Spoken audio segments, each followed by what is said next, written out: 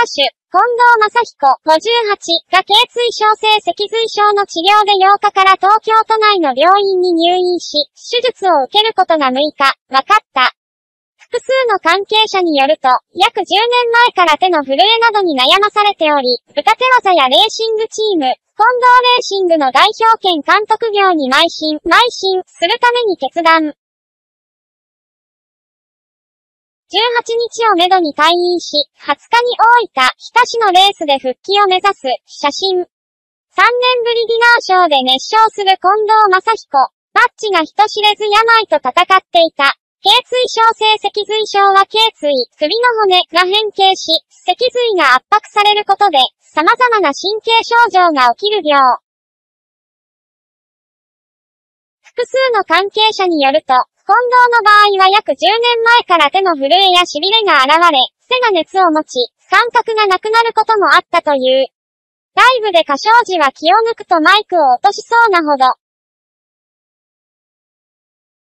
だましだましで乗り切ってきたが、今後も歌手、そして近藤レーシングの代表権監督として万全の体調で臨むため、2週連続でレースのないタイミングで大きな決断をした。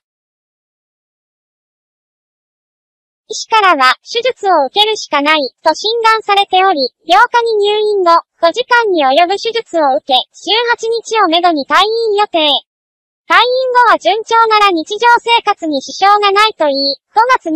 21日に大分、日田市のオートポリスで開催されるスーパーフォーミュラ第4戦での復帰を目指す。歌手としては、6月10日に東京、明治神宮外苑総合球技場で行われ、ゲスト出演する博士太郎音楽祭が復帰ステージになる見込み。7月19から21日には、東京、葛飾シンフォニーヒルズで自身のバースデーライブが控えている。近藤は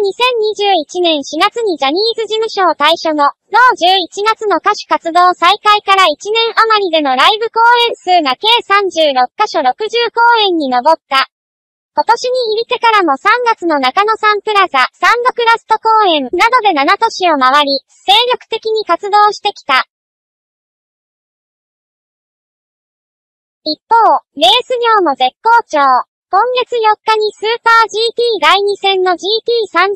クラス決勝で近藤レーシングが優勝。先月には元 F1 ドライバー、中島悟氏70の公認として、全日本スーパーフォーミュラ選手権などを開催する日本レースプロモーション JRP の取締役会長に就任し、年齢を感じさせない二刀流の活躍を見せている。近藤の所属事務所、MK カンパニーは本誌の取材に入院して手術を受けることは事実ですが、詳細についてはお答えできません、と回答。マッチが笑顔で戻る日をファンは待っている。頸椎症性脊髄症、頸椎症性脊髄症。頸椎の加齢により椎間板の変性が進み、脊柱管にある脊髄が圧迫される疾患。骨がトゲ状に大きくなったり、骨の出っ張りを形成することや人体が厚ぼったくなることで、両手足の痛みや痺れなどの神経症状を引き起こす。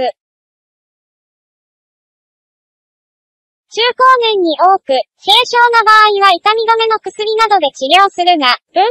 神経麻痺などが現れると脊柱管を広げる手術が必要になる。